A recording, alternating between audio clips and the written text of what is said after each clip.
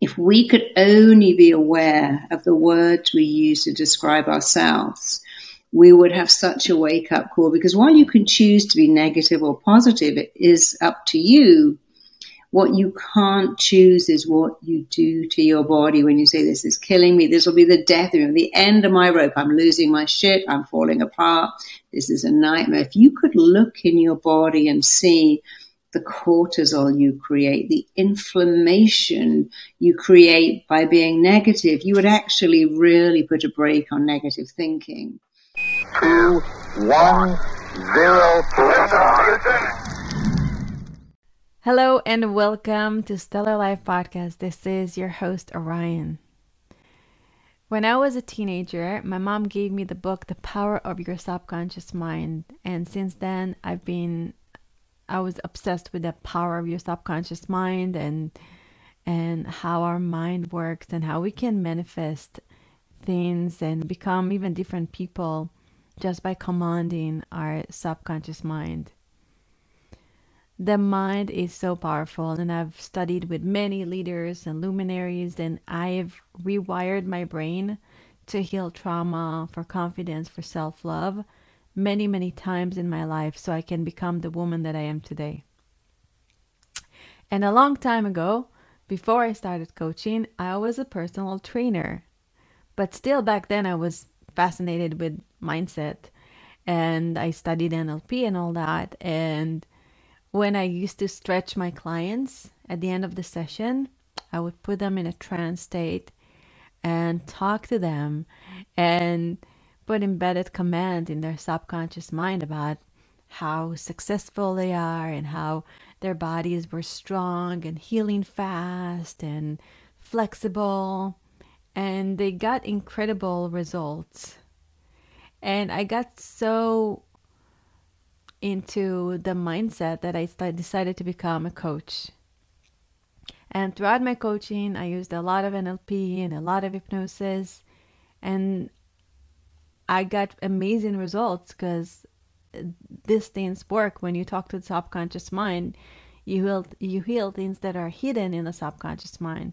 So I got a client to get married within a year of working with me. I got one to stop smoking. She was a heavy smoker. She stopped smoking after two sessions of working with me. And I really loved coaching and I loved being in my gift. And I always know that I love to learn and expand. And in 2018, my husband Stephan Spencer interviewed Marisa Peer uh, to his podcast, Get Yourself Optimized. And I listened to the podcast, and we were driving in the car, and I listened to it, and I told him, "Wow, this woman is incredible, and I want to learn everything that she teaches." And and so I did. Um, I started taking her online course, and then everything kind of stopped when I became a mom because I had this beautiful, incredible miracle, and I wanted to just be there for him every minute, and I didn't want to miss a bit. A bit, so I I stopped my coaching, and I was it was all focused on my baby, and now looking back, I recognize that for about I think a year and a half or, or two years, I was suffering from uh, postpartum depression. But when you're in it, you can't even see it.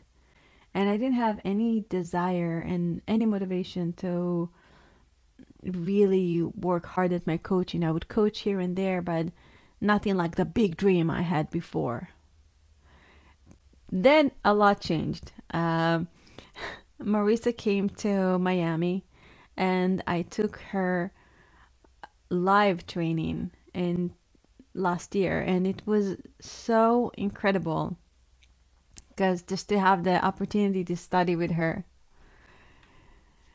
So I, I went there and it was one of the most incredible experiences and very uplifting because we as therapists got a chance to work on each other. So there were breakthroughs in the room every day, all day long. And we're just like every day I would come home bigger, more expanded, more connected to who I am and more healed because I was I was doing intense trauma healing every single day. and the community and the people are just so beautiful and I will forever and ever cherish that experience and a lot of the people I met are still my friends and they are incredible therapists and just like loving, kind, empathic human beings and I'm so grateful to to be a part of this community. I feel very blessed that I was able to study with with the with the Marisa and to add RTT sessions to my coaching practice. It just makes it so much uh, so much greater uh, to have that aspect of her teachings as well as my teachings and my coaching for Orion's method, even though I, I give the sessions separately to just respect her methods and her her rights to RTT. Uh, so that's what I do now. I do RTT sessions and I do coaching sessions, and it just works beautifully together.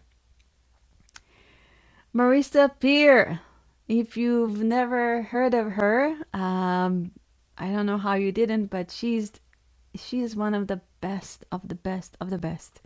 She is a world-renowned speaker, rapid transformation therapy trainer, and best-selling author.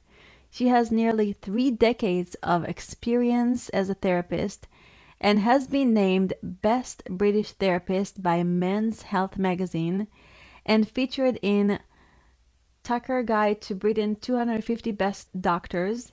Marisa uses her experience of treating clients, including rock stars, CEOs, elite Olympic athletes, royalty, and Oscar winning actors to inform her life changing speeches and lectures. In 2015, Marisa launches her Marisa Peer Method School, teaching her unique method for the first time to an audience in London, Canada, the US, and Australia. I feel blessed and honored to have her in my life, to be able to study with her, and to share her wisdom with you today. So, without further ado, on to the show. Hey, Marisa, and welcome to Stellar Life Podcast. Thank you so much for being here. I am super excited to have you here. Thank you for coming. Well, thank you so much for inviting me, and I'm super excited to be here. It's a great honor. Yeah. Um, so I'm one of your biggest fans. Uh, I have taken your training. I love your method you got so many awards for being like the, the most one of the most incredible therapists in, in the world and i want to know how did you even become a therapist what, what was your drive to want to help people in that way well, you know, I had an amazing mentor. My father was quite a guy. He was an amazing head teacher. And his mission was to make every child feel important. He used to say to me, you know, every child that I meet, I want to imagine they've got a sign on their forehead saying, please make me feel important. And he really, that was his motto that he lived by. And he showed me every day that helping people was what life was all about. And he really went a distance to help people. And he showed me every day that his whole fulfillment came from helping people. So I was very influenced by him. And of course, my mother, on the other hand, was very unfulfilled, very beautiful, very unhappy, very frustrated. So I saw the difference. My father had a job that engrossed him, fulfilled him, gave him everything. And at a very early age, I picked up you need a fantastic career. You need a career that's rewarding, fulfilling, gives you meaning and purpose because that allows you to cope with all the slings and arrows of life. So that he influenced me the very most. And I wanted to be a child psychologist, um, but that wasn't for me. And then I thought I might be a teacher of small children, but I realized actually that being a therapist was for me. And I realized that when I left college and went to work for Jane Fonda, which was phenomenal fun.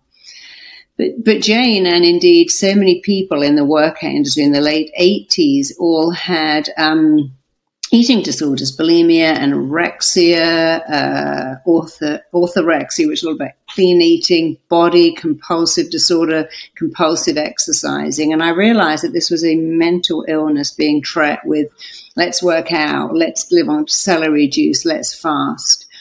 And I was fascinated by how many people in my classes for Jane were just obsessed with what they looked like on the outside, not the inside. And that led me to a lifelong study of human behavior, which my father had kind of begun in me anyway. And I, my, my primarily, I was looking at why, you know, overeating is an emotional, you can't fix it with working out and forcing yourself on a diet. In fact, I've always been amazed that the whole diet industry is based on self hatred. Hate your body, do a punishing workout, force yourself deny yourself. And the only way to have the body you love is actually to love the body you have so much that you treat it with respect. So I came from that, this, this self hatred we have, and, and the media certainly contributes to that. So that was my beginning. Yeah, today nine year olds have body image issues. It's really, really bad. Yeah, and you ask them what they want, and they go, I'm, I'm going on a diet, I, I'm fat. It, it's just what we've done to the, to each generation in terms of body image is just horrific. I think one day people will look back and, and just be absolutely shocked that we we body shame people like that on an epic scale. So that was where my beginning. But then I realized that people would ring me up and go, "Hey, I, I know you work with weight loss. My neighbors lost hundred pounds. My friends stopped eating sugar, but me, I've got a fear of elevators, and I only want to see you." I go, "Yeah, fine, sure." And then I realized that the diversity was so fulfilling, working with, with everything from infertility to phobias to panic attacks, as well as the eating issues. Then I began to work with a lot of children and schools, and it's really rewarding. So I love the fact that I no longer niche. I see people for everything, and it's been the most rewarding job in the world. I will never ever retire. I, I love it as much today as I did 30 odd years ago when I began. Yeah. And I, I love watching you speak about how, helping people. It's so freaking amazing. And, uh, just by experience your training, I'm, I'm in such awe and, and I have so much respect to, to what you created. So you created rapid transformation therapy. Uh, how do you, how did you come up with that? And what is different between RTT and other therapists? Well, first of all, I never want to diminish other therapists. I think all therapists have a great heart and a real calling to help people. But I was always amazed that therapy is the only healing modality. It says, bring me your pain, and over a long period of time, we'll, we'll build a relationship. And then we'll try and help you. You see, if you turn up at the emergency room, or indeed the dentist, or indeed the chiropractor going, I'm in terrible pain here, they don't say, well, we need to build up trust over a long time, and then we can begin to help you. They say, you're in pain. Let me get you out of pain. Let's get out that infected tooth. Let's set that broken arm. Let me look at your back and see what's out of alignment. And I always thought therapy should be the same. It should offer almost immediate release of pain. That doesn't mean the client doesn't come back. But if someone comes to me and says, I'm having panic attacks, I'm addicted to cake, I can't find love, I've got, I'm cripplingly shy, or I have insomnia that's ruining my life, or indeed I shout at my children, it's just terrible. I begin immediately in the first session uh, it's almost like a recipe. I, I, look at what happened. I start to interrupt the client's belief system. I start to interpret with them what's gone on. And then I become rather like a coder. So RTT is a very good formula. You begin like a detective gathering information, what's gone on here. No one is born unable to leave cookies. No one is born fearing attention. After all, a baby's first experience is being observed and looked at and assessed. And they never look away and go, don't look at me. I got no clothes on and I got these really fat thighs. So we investigate what happened. We interpret how that's led to the current day issue. And then we interrupt the belief system, which is very powerful. And clients actually love that. And then rather like a coder, we start installing better software. Really, if your computer had a bug, and you got an IT, you go, this has got a bug, let me upgrade it, update it, and then it'll be all fast and new. And many clients have a bug in their thinking that they're not even aware of. And it's the same thing. Let's remove that bug, install better software so you can be the amazing person you're always meant to be. And I find many clients' issues come from the lies they tell themselves. My dad left when I was one, therefore I'm not lovable. My mother wanted a boy, therefore I'm a disappointment. I didn't have a college education, so I'm never going to amount to anything. I don't look like those models in the magazine, so therefore I'm not enough. And, you know, the lies other people tell us are hurtful, but the lies we tell ourselves are so damaging. And we don't even realize when we say, you know, I'm exhausted. My kid makes me want to die. This commute will be the death of me. If I look at a cake, I get fat. That one of the rules of the mind is that every thought you think, the body starts to manifest. After all, if you feel embarrassed, you blush. If you watch a movie, your eyes can fill up with tears as something that isn't real. If you think of food, your stomach will rumble. If you think of sex, you can feel very aroused. So we know that every day we think a thought and we make that thought real, which is fine when you're thinking about eating or sex, but not fine when you're thinking about not being enough, not being good enough, and if only we knew that every word we speak and every thought we think is a blueprint that our mind, body, and psyche work to make real. If we knew that and were taught that, we would start to change that blueprint all the time because it's such an easy change to make. Mm-hmm. So when somebody come to um, to you or to an R- R- RTT therapist, are you do you still get private clients? I don't see many clients. I've now trained 11,000 people in my method, and some of the people I've trained are just extraordinary. They're every bit as good as me, maybe even better than me. So I'm now very lucky that I can refer people who contact me all over the world. I do see people occasionally, if it's a very interesting case, a very compelling case, a very worthy case, I will still see clients. I'm currently creating a, a whole weight loss program for coaches. So at the moment, I'm working with three or four different people and filming all of that for my new program. So I do see clients and I love seeing clients. And of course, clients give me my stories. And my new book is full of 10 client stories, which I collected over the last few years. And my next book is going to be about 10 children and adolescent stories. So I'm still seeing people because they are the material for my current book and indeed my next one.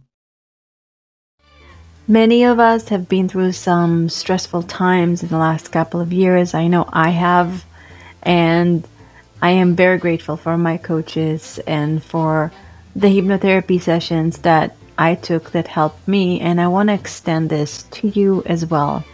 If you want to feel unstuck, break through some limiting beliefs, maybe you want to lose weight or attract the love of your life, maybe you just want to step into your power then do yourself a favor and book an RTT session with me. RTT stands for Rapid Transformation Therapy, and it is indeed very rapid. Most people get their breakthroughs within one to three sessions, and then they just step into the person they want to be, and they change their lives, they change their health, they change their identity.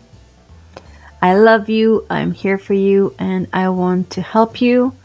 And as my podcast listener, you are getting 25% off your first RTT session. Woo-hoo! So go to speakwithorion.com and book a 15 minute call with me, speakwithorion.com, and we'll take it from there. And now back to the show.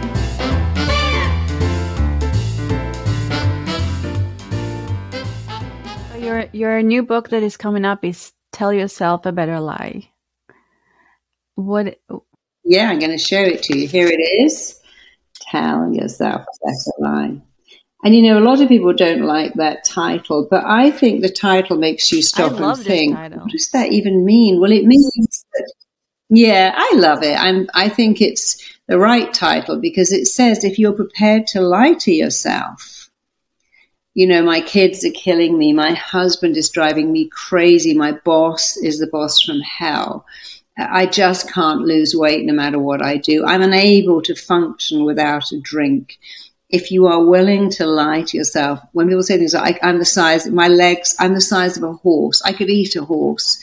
Uh, I've been drinking for 24 hours nonstop, which clearly can't be true. I mean, I'm imagining at some stage in that 24 hours you peed, you ate, and you probably had a little nap too. So if you're prepared to lie to yourself, at least tell yourself a better lie. And that's as simple as my memory's like a sieve. I forget everything. To I have a phenomenal memory. I can't lose weight no matter what I do. I have an incredible metabolic rate. My boss is a nightmare. Well, my boss is a challenge to everyone, but I've got amazing skills and I'm an asset to this company. You might say, well, it's not true. Neither is the fact that you could eat a horse. So it doesn't have to be true. It's just look at the lies you tell yourself. My head is killing me. I'm dying of stress. I'm exhausted. I'm chronically tired just change that. I'm a little dehydrated. I do need a bit more sleep.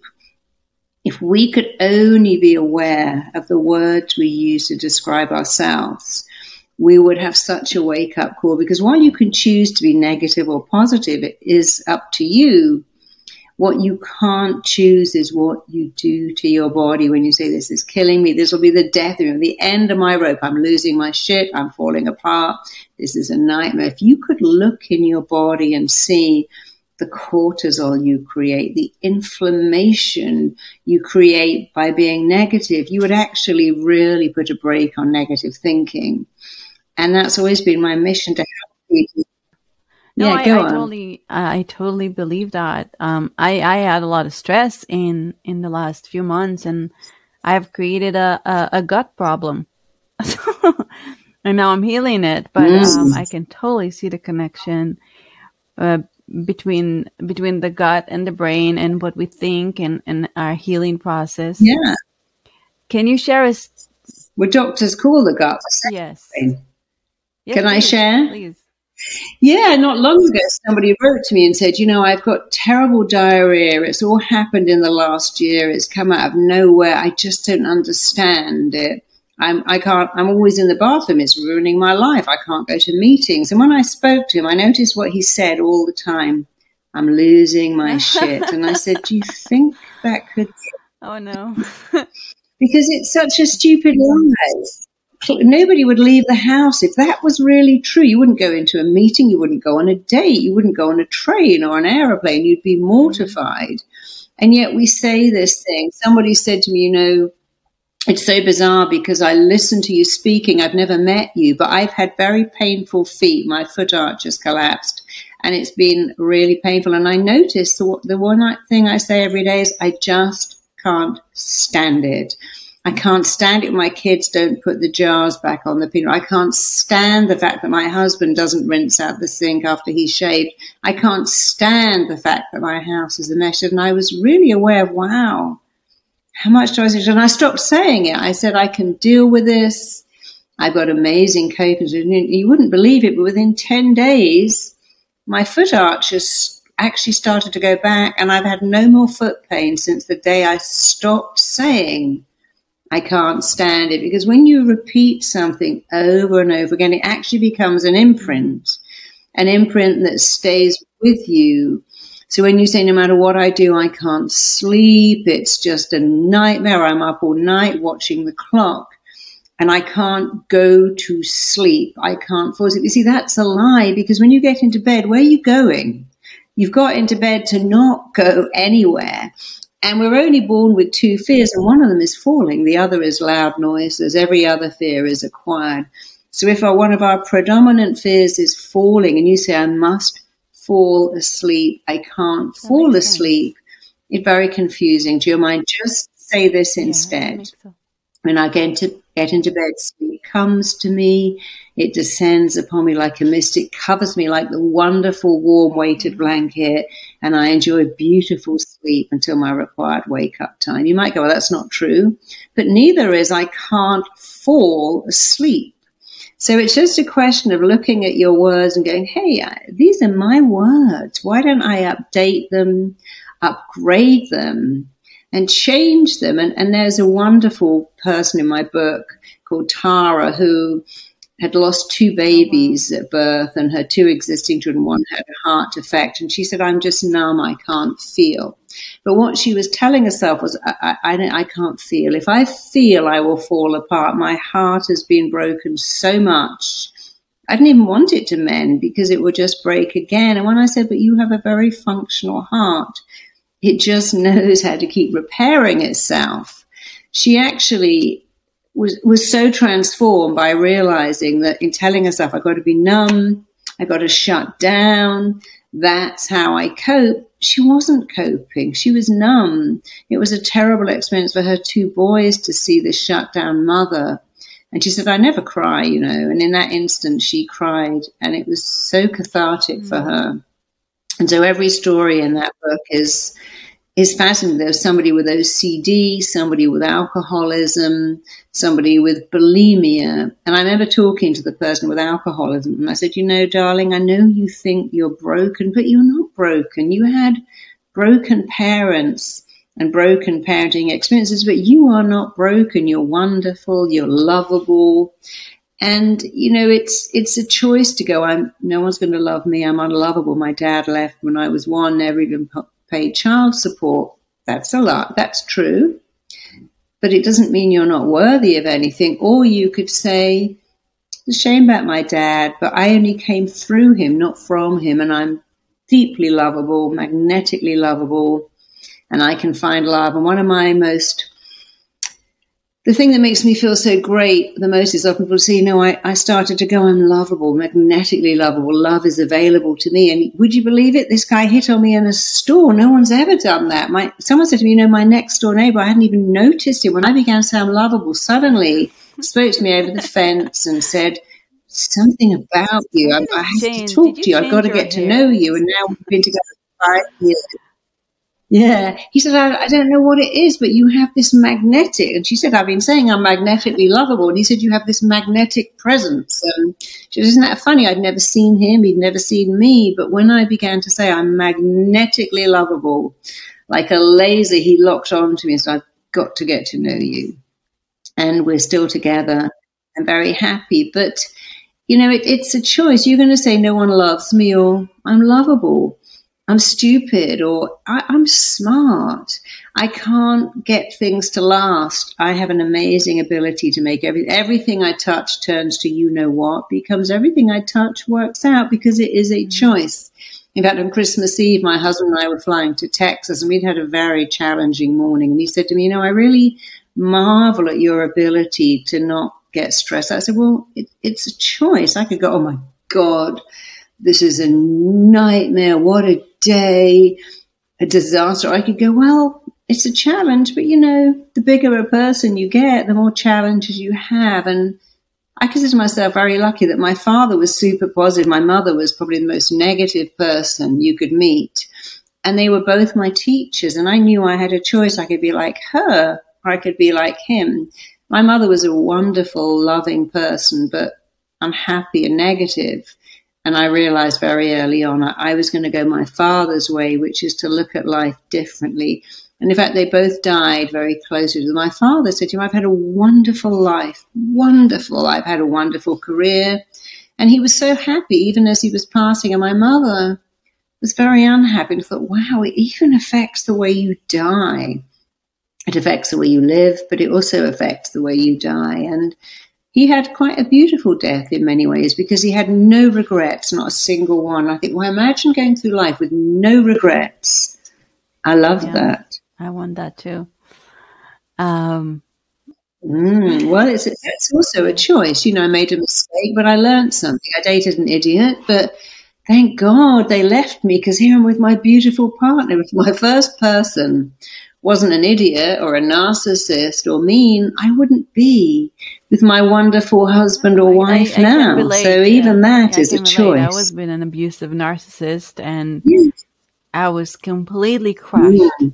But I knew that I knew that I was I was I was such a shadow of myself. I couldn't even walk down the street, look at people in the eye. I was mm-hmm. totally scared of everything. I drank. I, it was horrible. But I knew that there was, you know, I went to a psychologist who wanted to send me to a psychiatrist, wanted to put me on medication. And even though those can be good for some people, I knew that I had a little light in me and I can hold on to that light because I've done it in the past and I can be, I can rise like the phoenix. And then I started really conditioning my mind every day to, to feel better. And I did, I pages and pages and pages of affirmations. And I did mirror work from Louise Hay. And the first few times I did that, I couldn't do it. I started crying every mm-hmm. time I did that because I couldn't say I love you to myself. It was too hard, too painful because I hated myself. And then I knew the power of laughter. So I went on YouTube. I started to, you know, look at some cat videos. And then I started, I studied martial arts. I studied MMA and Aikido because I said, nobody ever is going to hurt me again physically. So I really strengthen myself and I really believe in the power of the mind and I can, I, I, I'm really grateful for my mom because she, when I was a teenager, she gave me two books. She gave me Louise Hay, uh, You Can Heal Your Life, and she gave me The Power of Your Subconscious Mind by Joseph uh, Murphy. And those books It's two amazing. yeah, those are two amazing books, and and that gave me that the the the understanding that no matter what, we can connect to a higher power. We can change our conversations. I was in a place where, so that guy, he was telling me many lies about myself. He would put in putting me down like every part of my body was ugly. I was ugly and fat and all kinds of really, really bad, bad words. And when you hear it enough times, and what predators do, they isolate, and you hear it so many times that you take it on, you take on the lies, and then you tell yourself that lie, and you keep telling yourself that lie, and then you got to break Yeah. the pattern. So, how do you how do you um, help people break the? And you're so right. The lie he told you was bad, but then you Yeah. continued lie. My people say my parents have never amount to anything. No one in our family's ever done that. We, you can't have that. That's too much. So when someone else tells you a lie, they have an agenda. People like your ex want to diminish you. A critical person. It's a bit like if this was a seesaw. Here's you and here's a critical person. But you see, in the critical person's mind, you're actually elevated and they're diminished, and they only have two choices to make this happen. They must diminish you or elevate themselves. So a narcissist with nobody will love you. You're not good enough. Who's going to take you on? Or they might go, well, I'm smarter than you. I've got a better education. I've got more money. But each thing is designed to make this go to this. But you see, we have a choice to not let that in. Unhappy people criticize. Critical people, without question, have the most criticism reserved for themselves when you come across a critic, the best thing goes, Oh, this is an unhappy person. Nobody wakes up and goes, Wow, my life's amazing. Who can I troll today? I'm so happy and fulfilled. Who could I go online and diminish and hurt? It just doesn't happen. Critical people need other people to be critical so they can feel equal in their misery. Whereas happy people, evolved people, tend to praise. They tend to say wonderful things like, darling, it doesn't matter that you didn't get that job. You get another one. I'm so sorry your husband left, but he's an idiot. Who could leave you? They don't go, well, of course he left. You've got cellulite, your breasts are sagging, you've got three kids. What have you got to offer the world? A friend would never say that, but we say yeah, we say those terrible things. things Of ourselves, course they left. even when we know better. Oh, I mean, if we spoke, if we spoke to our friends the way we speak to ourselves, they'd be long gone. So we have to identify and listen to what we say to ourselves. You know, I last year I was lying on the sofa and I heard what say to my husband, "I'm chronically tired." I went, "No, I'm not chronically tired. I'm probably dehydrated.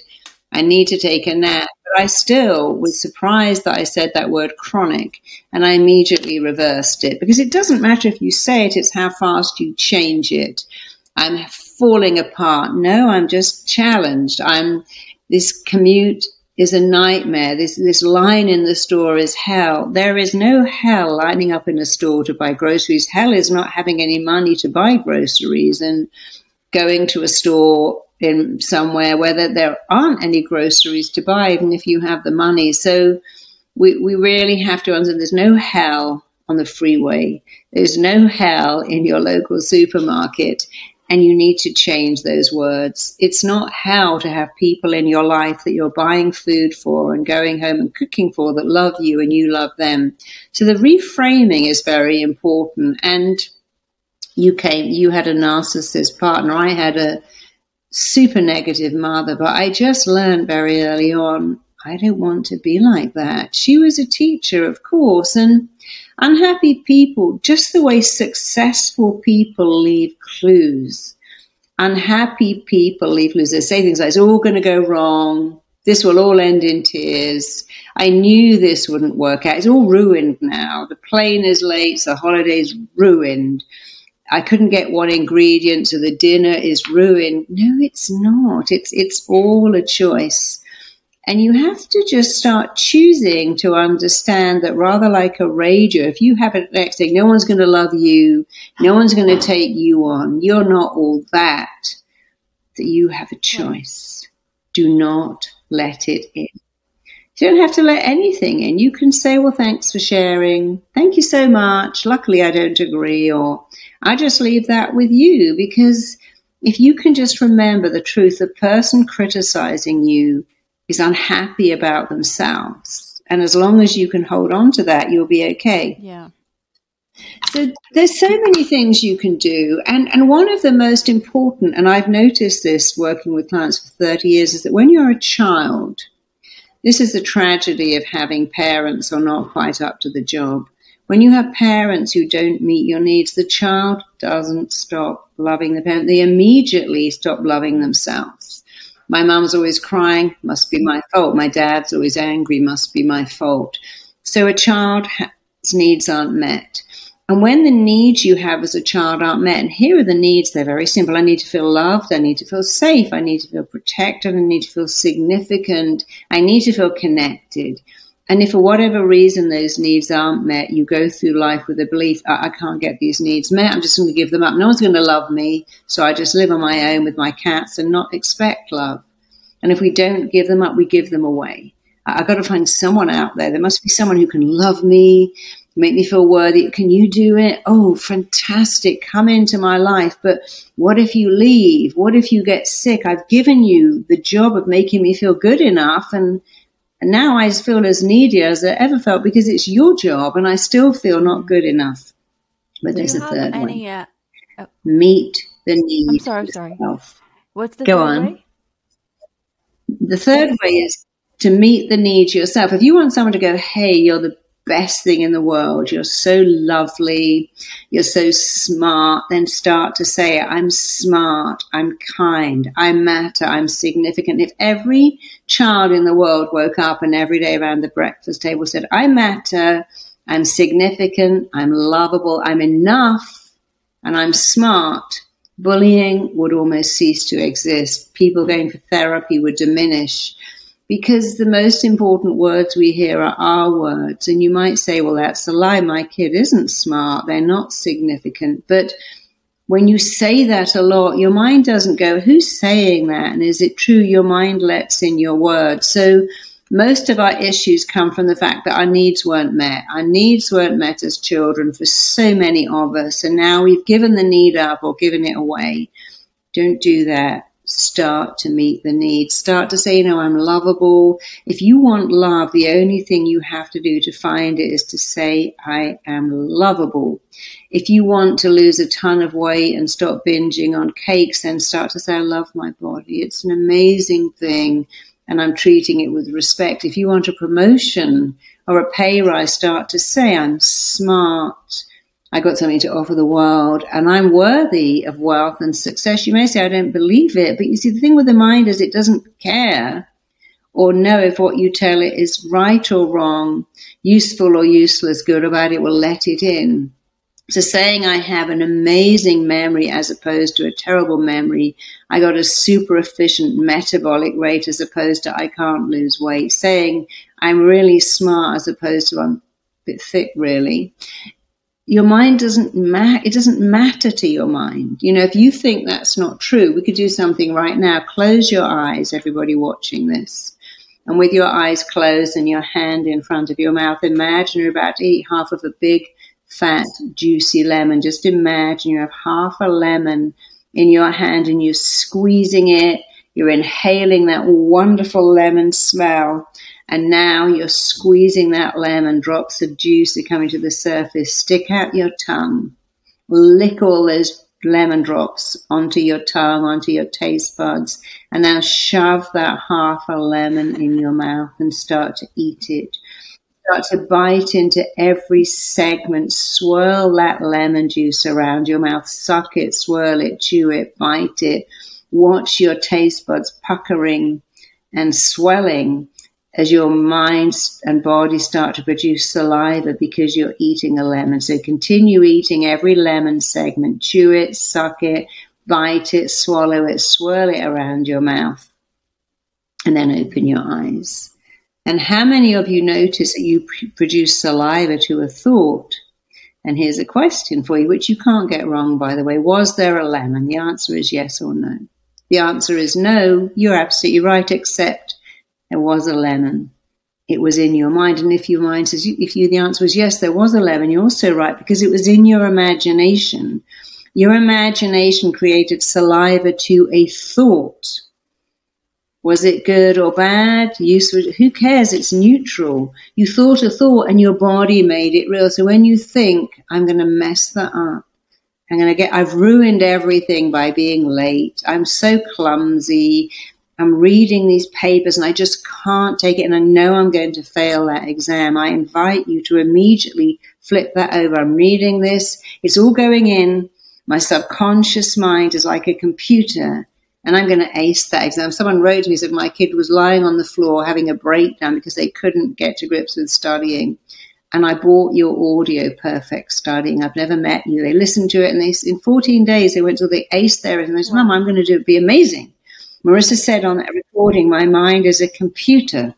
It takes it all in and it's all there when I sit down to take the exam. As I read the question, like that Celine Dion song, it's all coming back to me now. And that's what happened. So we have to prepare our mind. When I was having a baby, I, told, I made myself a recording birth is so easy. I give birth to that baby in five hours. I can't wait to lift the head out. My muscles, the long ones, contract, the round ones relax, and that baby just slides out of my body. And I have postnatal euphoria because I always think about postnatal depression. And I had postnatal euphoria. I was thrilled to have this baby. The birth was easy. I weighed exactly the same a week later. I probably sound super annoying now and sickeningly glib.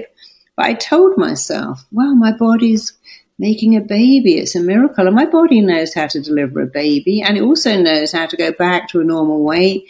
And it also knows how to create milk. And I'd also say to my baby, you know, even in the womb, you sleep at night and you're awake during the day. And we're so blissfully happy.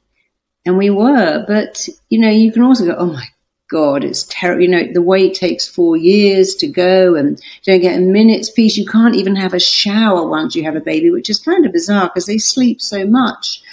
Oh, it's so stressful.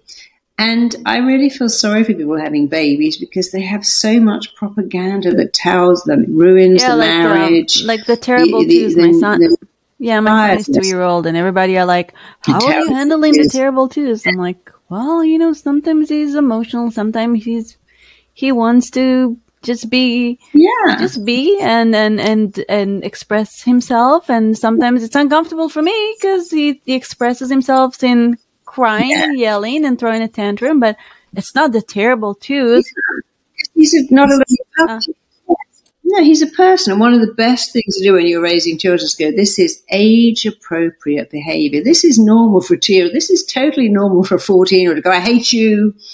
I wish I'd never been born. It's all age appropriate. Yeah, sometimes. You know, I can't get my kid out of bed. Well, that's not going to be in there when they're 16, I yeah, promise sometimes you. Sometimes I, uh, I even go and I check his books. And if some word is wrong, so there was one book where they said, oh you stupid one why do you ask me that and And instead of stupid, I deleted it and I and I wrote silly or funny or silly funny or something like that. Something that is doesn't have the mm-hmm. even even at this age, their subconscious mind is so yeah. in this age. Their subconscious mind is so open. I yes. think they are in theta for the ne- for the first year, and then um, so in, they're in. Oh, Penelope no, that, sorry, I didn't mean to interrupt you. No, Go so on. They're, they're in, in their brainwaves are in, in a very receptive way. Receptive way. They don't they don't have their critical yeah. minds to tell them what she's saying is right or wrong. Yeah. Before the age of five, before the age of five, children have no logic whatsoever, only feeling. And so you can't use logic. And I love the fact that Penelope Cruz took all her little girls' books, and at the end when it said, and she married the happy prince handsome prince and lived happily ever. She changed it and went, oh, he said, will you marry? I said, no, I'm really sorry. I'm going off to be an astronaut.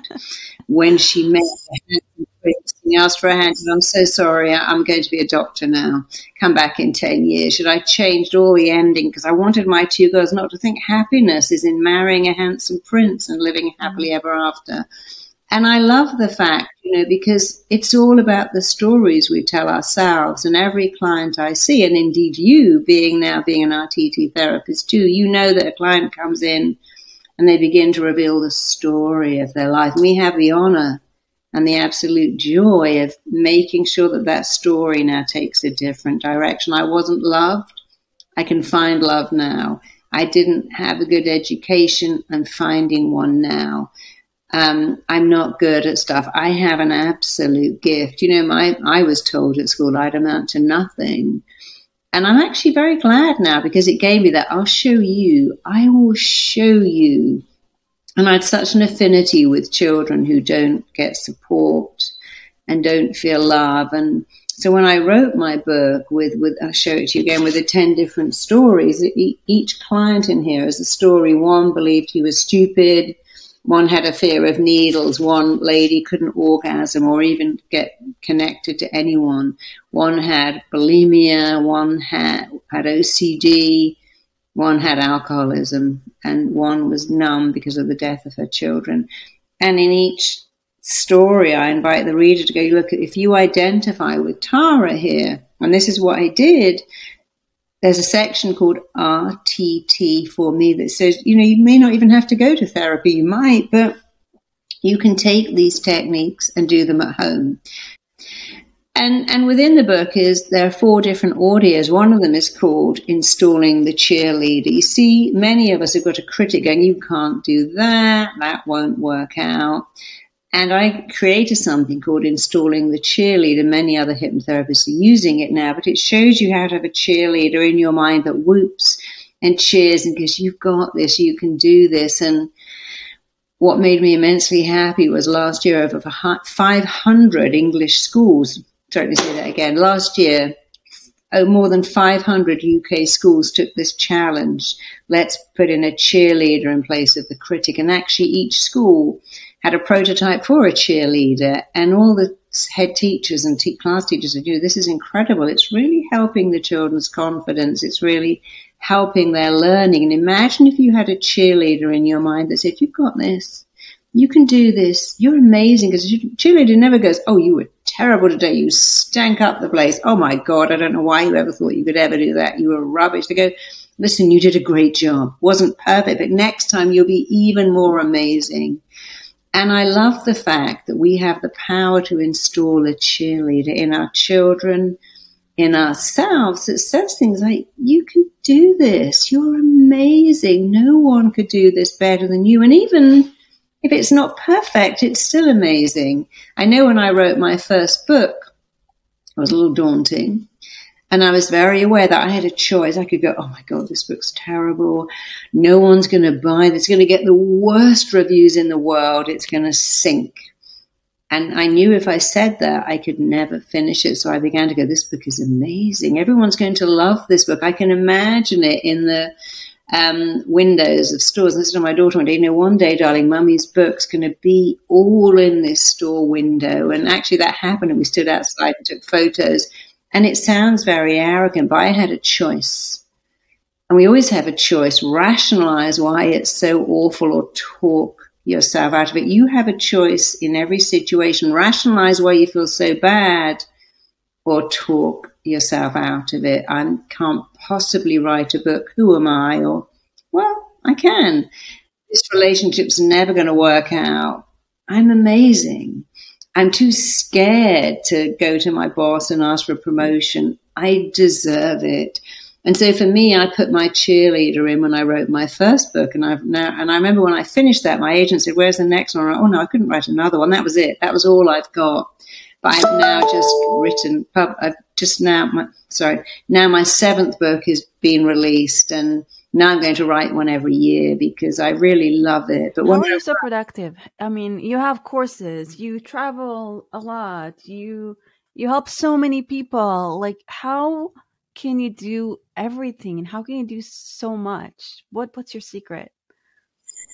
Well, the secret it's not really a secret. When you do what you love and love what you do, it doesn't feel like work. I've always believed, because I watched my father again, if you do what you love and you love what you do, you actually feel like you never work a day in your life. So I'm very lucky that I love what I do and it gives me so much. You know, to have a career that's amazing, you need actually nine things. You need to have connection, significance, diversity, you need to have meaning and purpose. You need to grow, contribute, make a difference. I've forgotten the, um, I think connection, diversity, significance. One, I've forgotten one of them. But being a therapist and being a writer, you, you get very connected to your audience. You do feel significant. You do have diversity. You do have purpose. You have meaning in your life, you grow and contribute, but also you make a difference. And not only that, it's not just to other people, it's to yourself. So when I write books,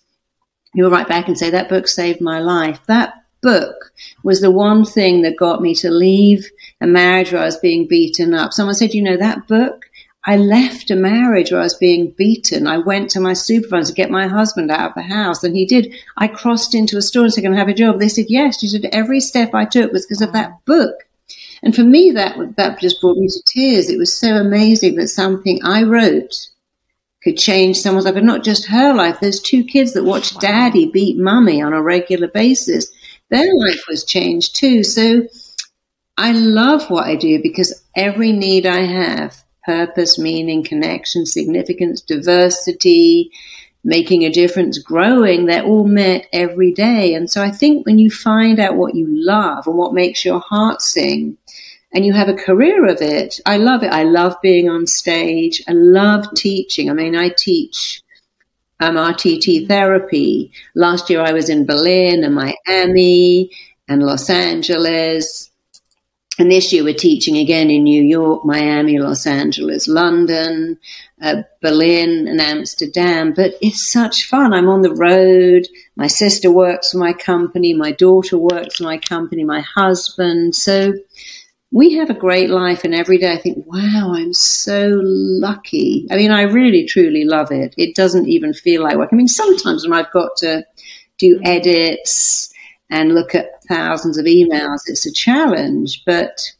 I always wake up and think, I love my life and I'm lucky. And I think that's important when you wake up and you go, oh, when I wake up, the first thing I say is, I love my life. I love my life. I got a great song, I Love My Life. My friend wrote it, Niraj, I love my life.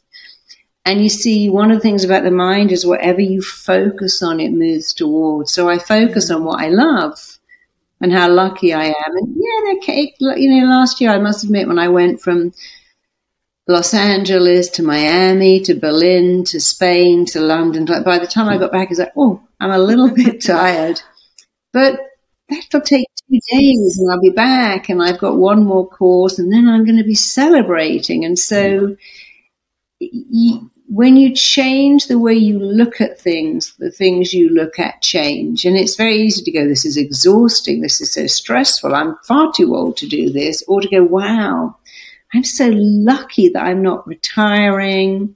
I got a fabulous life. And I think, you know, having a sense of mm-hmm. gratitude is incredibly important. It every day you look for the little things that make you happy. Like I still get excited about my first tea, my first coffee. waking up and feeding my cats. I think when you can train yourself to get pleasure from simple things, the sunrise, hearing someone laugh, a phone call with my daughter or my sister or my best friend. Once you get immense pleasure from little things, every day becomes like Christmas. And so, but that's all, it's all a choice. I'm choosing to love where I am, to always look for what's great about it. And and the other thing that really has always helped me is to remember, and we can all do this, your life is someone else's fantasy, dream come true. They would love a husband that left underpants on the floor. They'd love kids that left peanut butter smears on the fridge. Right. They would love a baby that kept them up all night. Someone in the world, I, I, your life is my mm. fantasy. And so that, that really helps you get it into perspective. That's so beautiful.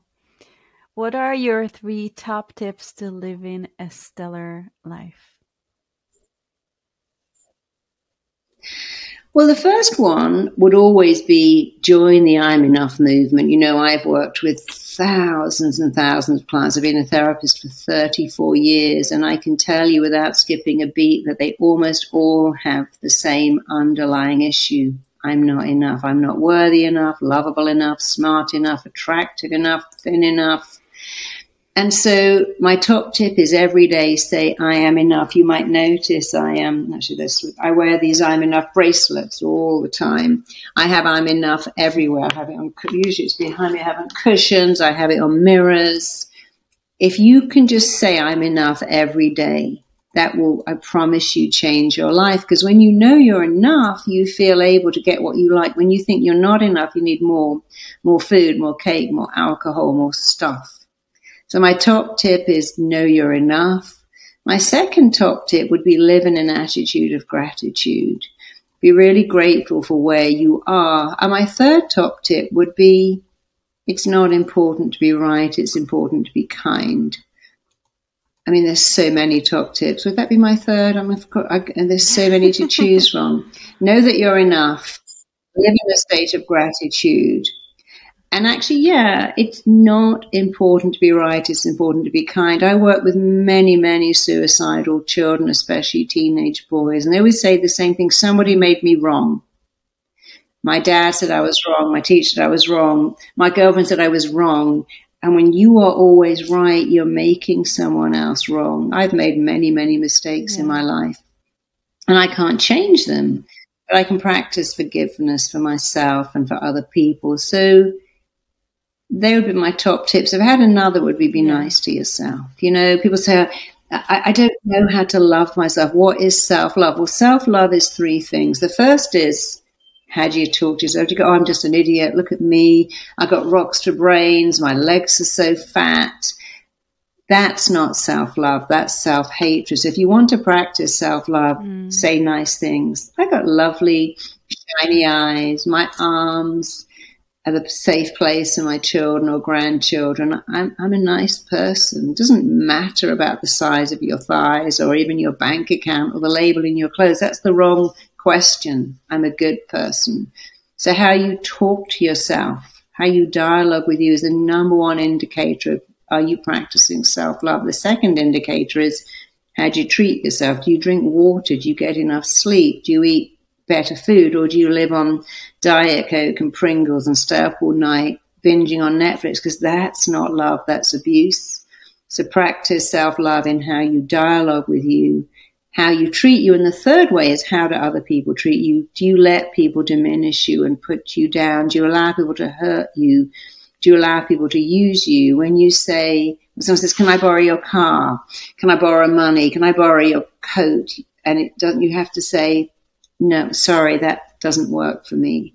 I can, don't say sorry too much. Can you have my kids all weekend? Mm. Oh, I've mm. got other plans. So don't let people treat you badly. And the more you practice the first one, dialoguing better with yourself, the easier it is to practice the second and the third one. So that would be mm. another tip. That's how to practice self love, how you talk to you, how you treat you, how you allow others to treat Thank you. So much. Um, where can people find you, connect with you, get your new book? Oh, yeah, I'm going to show it to you one more time. It's re- it, you can get this everywhere: Amazon, Barnes and Noble, everywhere. So, how can you find me? I'm very lucky. My parents call me Marisa Peer because it's an unusual name. So, marisapeer.com is my website. And we give away tons of free audios on love blocks, health blocks, wealth blocks. Yeah. RTT.com is where you can go to learn how to train with me and do what I do. It is the best job in the world. I'm sure you agree because you do it now too. You can also find a great therapist who I trained who's probably every bit as good as me, also in RTT.com. If you want some of these bracelets, go to I'mEnough.com. And if you want to buy this book, and it is a great book, it really will help you be the person you want to be, go to Amazon.com. And I think for the first week, we're doing an amazing offer where you can buy the ebook for 99 wow. cents, which is amazing because each of the four downloads is worth about mm-hmm. $30 each. So yeah. it's a great deal. Wow, and congratulations. And I'd love you to have it, and I'd love you to from it. Yeah, I'm, Thank very you so much. To, to get the book, and it's going to be amazing. Well, send me your details. I'll send you a signed copy. I'd be delighted to. Thank you. Thank you so much for being here, Marisa. Thank you for sharing all your wisdom. Uh, thank you for being a big part of my life. Just before you go, can I just can I just ask you one thing? Tell me what your life is like practicing RTT. I know we're running out of time, but I'd love to know. Um, it's beautiful. I, I I love it. I love this. I love the method. I love how it changes people's lives. I'm really really happy about it. And how did it change your um, life? Yeah. But how does it change?